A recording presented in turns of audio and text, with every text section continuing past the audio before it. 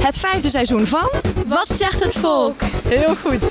Zit er alweer op. Om dit goed af te sluiten blikken we in deze video terug op de vijf beste video's van het afgelopen seizoen. Op de vijfde plaats vinden we aflevering 131 over het jubileum van de Vierdaagse feesten. Deze zomer vindt het evenement voor de 50ste keer plaats. De organisatie denkt erover om de naam te veranderen naar De Feesten. Toch gebruiken de meesten nog de oorspronkelijke naam, namelijk Zomerfeesten. Nee, zomer, wij noemen het altijd gewoon zomerfeesten. Zomerfeest is beter dan Vierdaagse feest. En waarom? Omdat ik niks met de Vierdaagse te maken heeft. Ben je het daarmee eens? Nee, Waarom niet? omdat het echt gewoon alles kan zijn.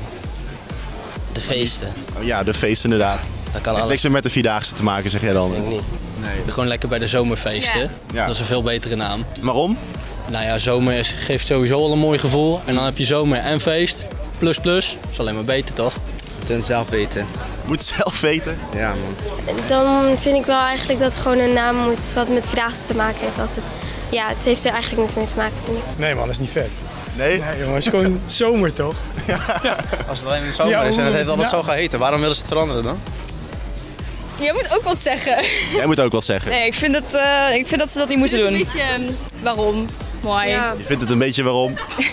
De organisatie laat weten voor deze 50ste editie geen hele grote artiesten te contracteren, omdat het sowieso al erg druk is. Momenteel zijn er optredens aangekondigd van Neverone en Davina Michel. Maar de vraag is, wie zou jij graag willen zien tijdens de feesten? Hebben ze, dit jaar hebben ze nu al twee namen, of tenminste twee grote namen aangekondigd, Neverone en eh, Davina Michel.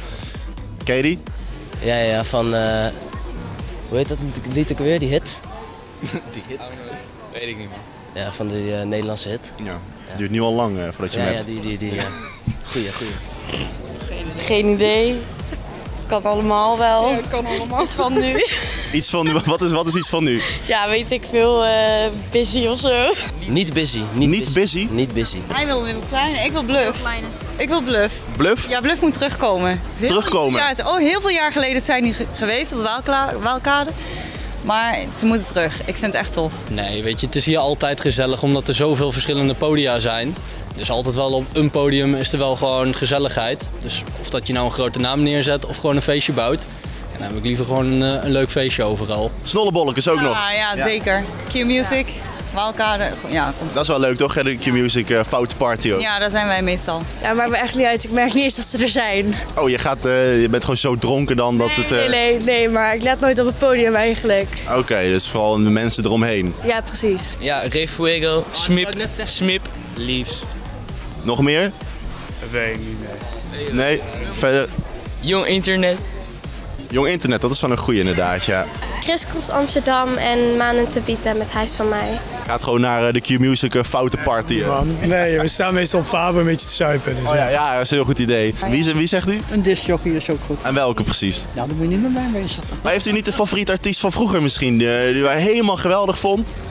Nou, nee, nou niet meer, nee. DJ Jean? Nooit van gehoord. Oké, jammer. Of snolleke bolletjes. Ja, dat kan ook natuurlijk. Dan hopen we dat die terug gaan komen. Ja. Zeker. Ja. ja, die komen wel, denk ik. Maar misschien wel, misschien wel. Het is wel een beetje duur. Nee hoor, die zijn er niet meer duur. Nou, die zijn wel duur, stollebolletjes. Geworden? Ja. Oh, ja. nou, in ieder geval, Q-Music wel. dat is waar. Mozart, Dat is een beetje te laat daarvoor, want die is dood. Avicii. Die is ook dood. Dat, dat was al helemaal te laat.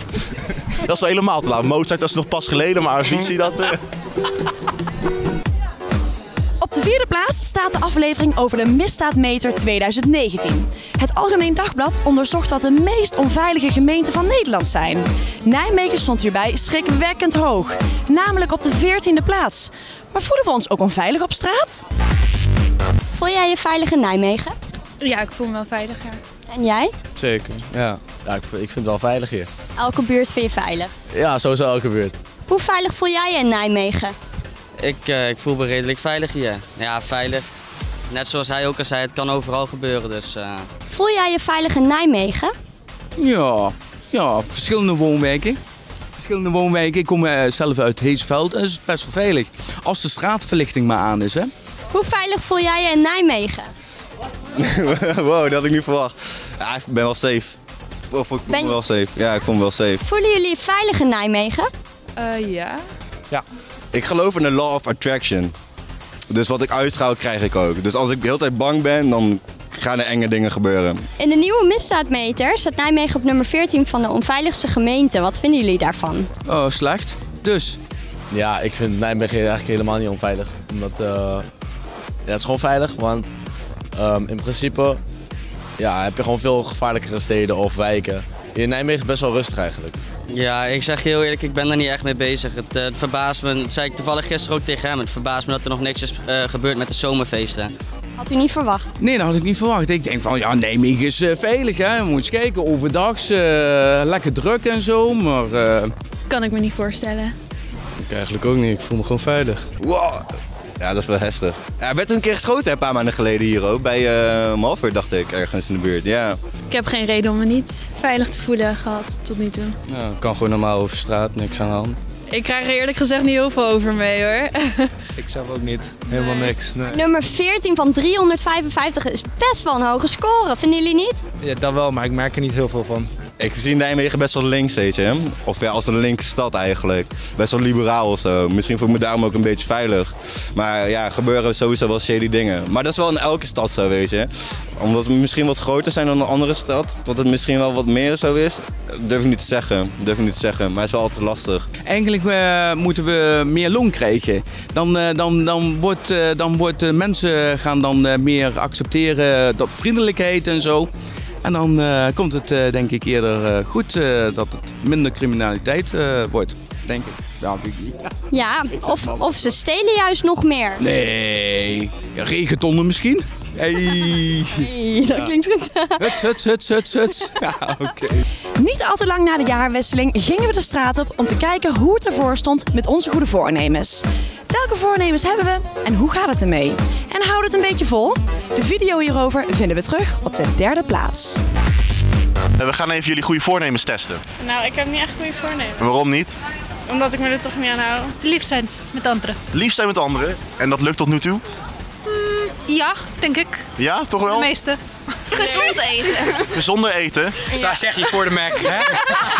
Meer sporten. Waarom? Ja, heel goed.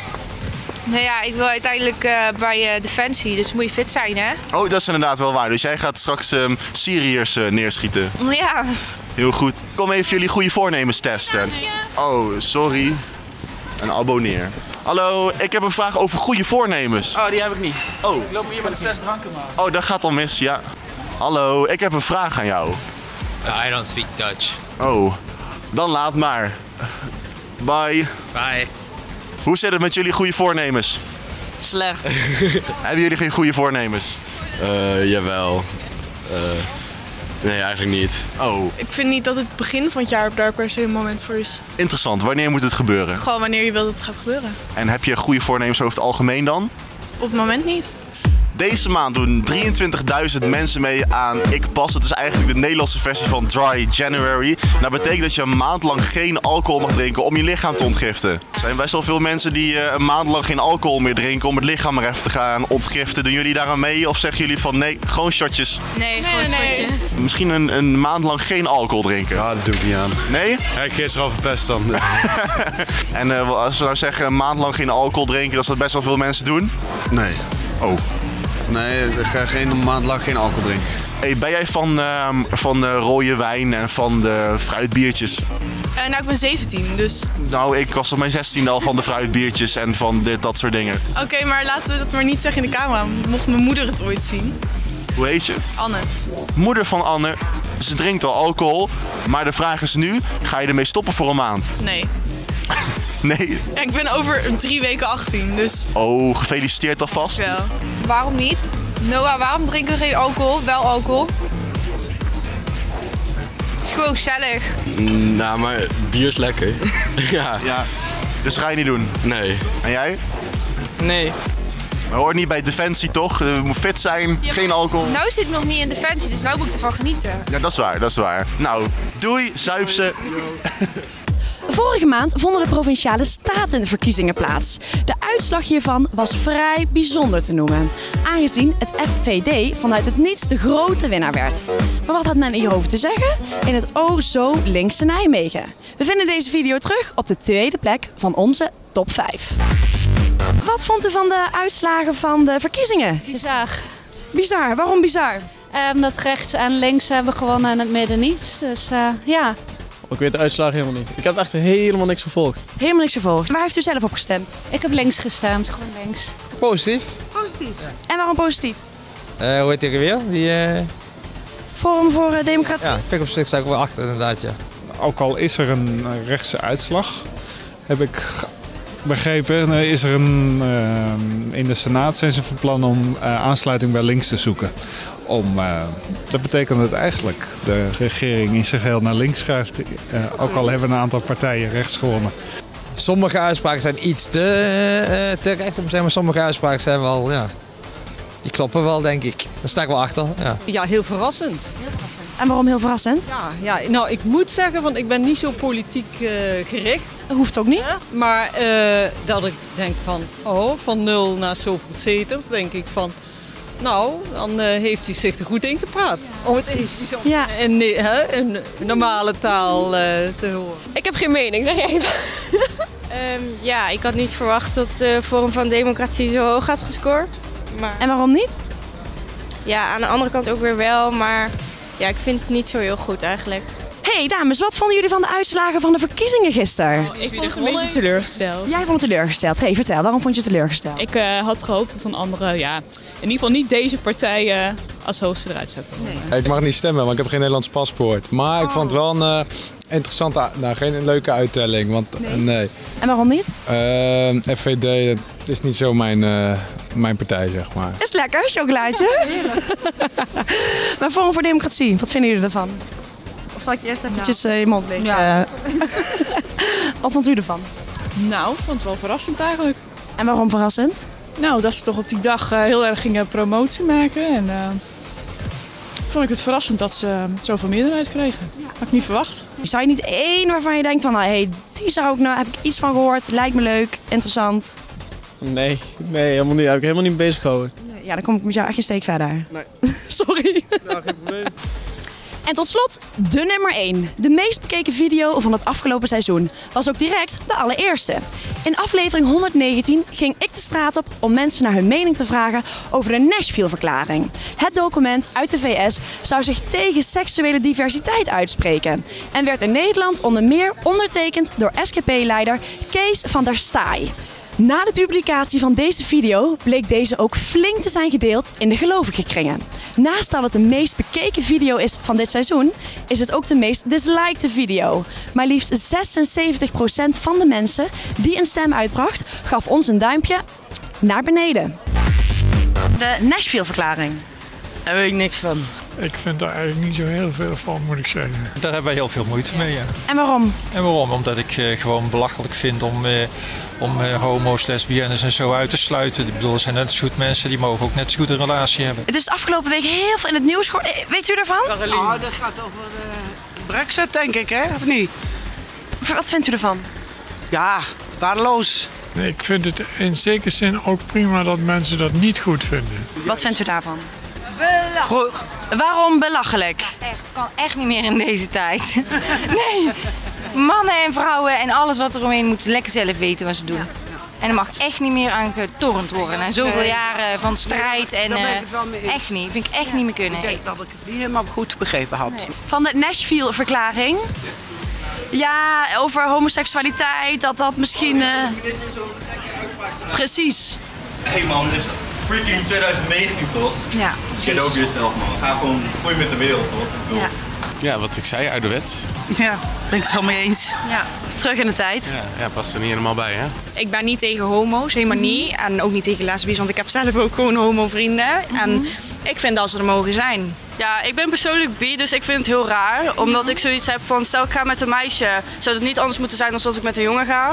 Ehm, ik, naar mijn idee doe ik daar niemand opzettelijk kwaad mee of zo. En er staan wel meer dingen in de Bijbel waar ze ook niet aan houden. En dit moet dan per se wel, dat vind ik persoonlijk heel raar. Ja, je hebt ook homo's die net iets te ver kunnen gaan, vind ik. Maar ik vind over het algemeen, ja, het zijn ook mensen, toch? Ja. Voel je je dan ook aangevallen daardoor? Ehm, ja, wij eigenlijk wel een beetje. Want ik heb dan zoiets van, ja, liefde is liefde. Eh, wij waren het eerste land waar je homo's mochten trouwen, dat soort dingen. En dan nu wordt dat ineens, ja, zou dat teruggedraaid moeten worden. En dat vind ik persoonlijk echt wel raar. Tegenstanders van een Nashville-verklaring. Dat is gewoon een Nashville-verklaring.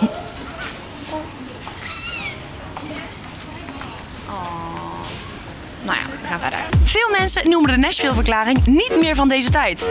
Maar is geloof überhaupt nog wel van deze tijd? Ik geloof sowieso niet in God en zo, dus ik vind dat nergens op slaan. Dus nee, dat vind ik... Ja, mag het allemaal afgeschaft Ja, worden. ja. ja. En vindt u het nog wel van deze tijd, het geloof? Nee. Nee, maar ik vind het van geen enkele tijd. Nee, mensen mogen voor mij geloven wat ze willen geloven. Alleen ik heb er ja, best wel nare ervaring mee als mensen dan ook op straat mij gaan proberen te overtuigen dat ik niet met een vrouw zou mogen daten omdat het niet volgens God mag. Ja, ik ben er persoonlijk niet heel erg van. Je mag die mening hebben, maar dan moet je niet gaan projecteren op anderen. Nee, dat wil ik niet zeggen. Nee, iedereen die mag geloven waarin ze zelf willen. Maar ze moeten niet doordrammen. Vanaf vandaag zal het Instagram-account van Wat Zegt het Volk tijdelijk worden overgenomen door het muziekprogramma Bring the Noise. Wil jij dus de komende maanden niets missen van alle leuke optredens en festivals in regio Nijmegen? Zorg dan dat je ons volgt via Bring the Noise Revival op Instagram.